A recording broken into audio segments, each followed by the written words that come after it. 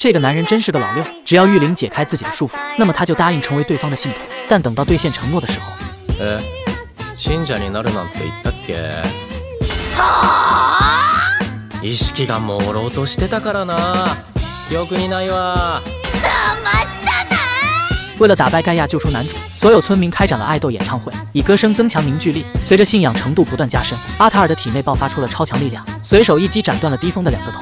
下面的利修和图吉米也不甘落后，对万兽发动了合体技，利用擅长的魅惑能力让低风自相残杀。一番操作下来，低风只能被动挨打。但优西看出来对方并没有这么简单解决。话音刚落，低风断掉的地方瞬间重生，然后对着他们就是一波激光扫射。这时玉灵也用能力勉强束缚住了低风。盖亚看萝莉挣扎的模样甚是可爱，但玉灵体内的力量根本拖不了多长时间。男主这时却突然把盖亚叫了过来，用头锤让自己变得清醒。刚才被盖亚下药才导致大脑无法思考，而玉灵这时却突然说自己有个取胜方法，那就是男主变成自己的信徒。这样的话，他的力量就能获得超级提升，秒天秒地都不在话下。男主同意了玉灵的方法，但前提是先把他的束缚解开。这点小事，玉灵果断地答应了下来，释放力量帮男主恢复了自由。可等他让男主当自己的信徒时，这家伙竟然反悔了，用自己意识模糊为由拒绝了玉灵。小萝莉气得七窍生烟。但现在不是纠结这个的时候，男主起身就向盖亚攻去，可结果却被对方按在地下摩擦。他的近战能力比洛基和图吉尼都要强，还好男主之前把指挥权交给了优西。这个天才少年见形势不容乐观，只能让大家进入第二阶段，用满满一屋子冰淇淋收买了阿塔尔，然后让妹子上台演讲。他告诉下面的村民，自己想做回普通的女孩，打算从教团毕业不再当神明。虽然村民们极力挽留，但阿塔尔心意已决，承诺不当神明之后，他会反过来服侍信徒。经过立修的从旁协助，阿塔尔的信徒顺利转移到了玉灵身上，数量达到了恐怖的三万多。そうかあの小娘めついに身の程を知って僕のしもべになったか勘違いしているが、 説明するのも面倒だ。拥有强大力量的玉灵终于可以不再低调，召唤出数人打算攻击低风。男主也趁着盖亚分神之际，朝对方发起了攻击，仗着自己的不死之身，他像疯狗一样扑向盖亚，顺利给对方造成了伤害。可盖亚却一脸不屑，即使男主不会死，那也会有痛觉和恐惧。经过几个回合的较量，他成功用触手再次束缚住了男主，然后决定杀到他因痛苦而疯狂。 在这千钧一发之际，玉灵的植物穿透了盖亚的身体。原来男主只是想吸引他的注意力，为的就是掩护玉灵发起攻击，打败了盖亚。外面的低风也顷刻间土崩瓦解。等众人赶到时，发现男主正在被玉灵公主抱。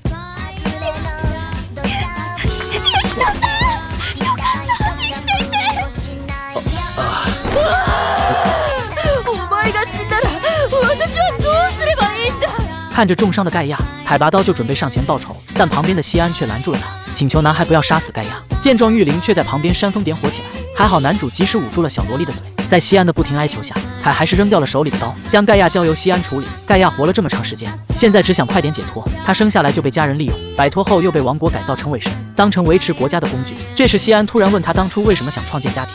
どうしてでしょうね多分私には何もなかったから何かが欲しくなったのかもね 盖亚不像西安在黄多的那种模范家长，他有过思考和迷惘，但还是在努力经营着家庭。虽然最终也没搞清楚家庭究竟是什么，西安觉得这样就好，以后再一步步找出正确答案，组建一个真正的家庭。危机解除的众人开始狂欢，品尝到冰淇淋美味的阿塔尔，竟开始怂恿孩子们崇拜冰淇淋。黄毛希望阿塔尔能兑现其演讲说的话，但下一秒他就被立修派人带走治疗。男主把盖亚和孩子们留在了教团，为了防止盖亚擅自行动，他会让凯负责监视，并且不怕盖亚再次笼络着孩子。因为男主看出了凯喜欢西安，所以别的女人才对他不起作用。凯成为盖亚的信徒也是为了西安，想让西安不被盖亚再次利用，凯就必须接下监视盖亚的任务，这样才能保护好西安。